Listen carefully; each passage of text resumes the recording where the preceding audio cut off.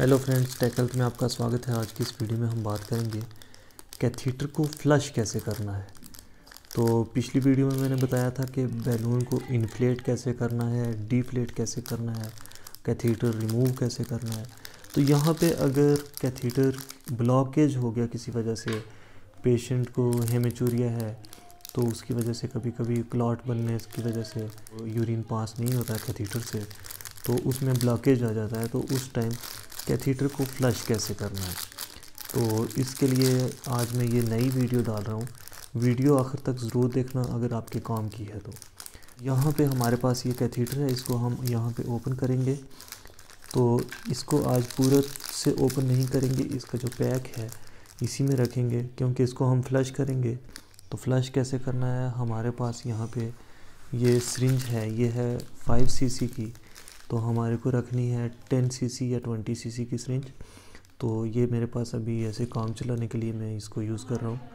तो ये देखना कि आप इससे हम इसको इन्फ्लेट करेंगे। इससे हमारे को जो है वो इन्फ्लेट करना है। इस तरीके से हम इसको करेंगे तो वो इन्फ्लेट हो रहा है। वहाँ पे देख सकते हो, बैलून इन्फ्लेट हो रहा है। ये आप देख सकते हो, ये हो गया बैलून इन्फ्लेट। ठीक है? बैलून इसमें इन्फ्लेट हो गया। तो ये होता है कि कैथीटर जो है वो बाहर नहीं निकलेगा ब्लैडर से। तो अब अगर कैथीटर में कुछ प्रॉब्लम है, यहाँ से यूरिन नहीं आ रहा है। यूरिनरी बैग इसके साथ अटैच करना होता है। तो वहाँ पे अगर यूरिन नहीं पास हो रहा है पेशेंट को, अगर ब्लैडर पॉल्पेबल है, यूरिन उसमें है तो आपने क्या करना है, इसको फ्लश करना है। फ्लश करने का तरीका क्या है?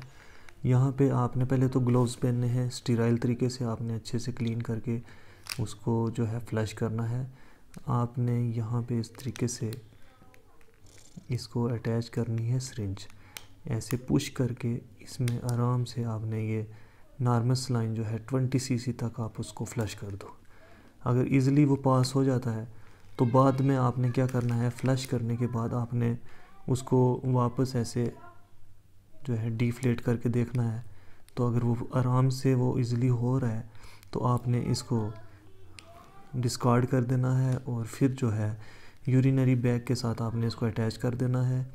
तो अटैच करने के बाद जो है वो आपका यूरिन पास होने लगेगा उस पेशेंट का। तो अगर कोई ऑब्स्ट्रक्शन थी तो वो ठीक हो जाएगी, अगर कोई क्लॉट था तो वो वहाँ से क्लॉट जो है वो साइड हो जाएगा या रिमूव हो जाएगा। तो ये थी आज की वीडियो कि कैथीटर को फ्लश कैसे करना है। यहाँ पे मैंने बता दिया, एक पोर्ट हो गया, इसमें से हम बैलून को इन्फ्लेट करते हैं और यहाँ से ये जो पोर्ट है, इसके साथ हम यूरिनरी बैग को अटैच करते हैं।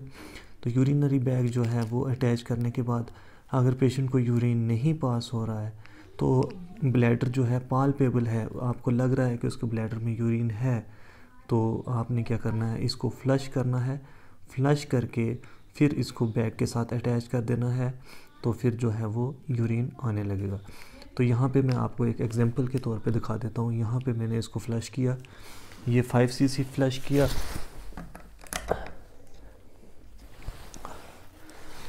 अब ये मैंने इसको टेन सी सी फ्लश कर दिया। तो अगर अब हम इसमें देखेंगे तो यहाँ पे देख सकते हो, यहाँ पे तो ये पानी आ रहा है, लेकिन इस तरीके से यूरिन जो है वो आने लगेगा। आपने ग्लव्स पहनने हैं। ग्लव्स पहन के आपने उसके बाद पूरा प्रोसीजर जो है स्टेराइल तरीके से करना है। तो बाद में पेशेंट को अच्छे से क्लीन करके जो कैथ केयर है, वो भी पेशेंट को सिखानी है। कैथ केयर कैसे करनी है, वो भी मैंने एक अलग से वीडियो डाली हुई है। तो आज की वीडियो में इतना ही। अगर वीडियो अच्छी लगी तो प्लीज़ लाइक करो शेयर करो और हमारे चैनल को सब्सक्राइब करो। Thank you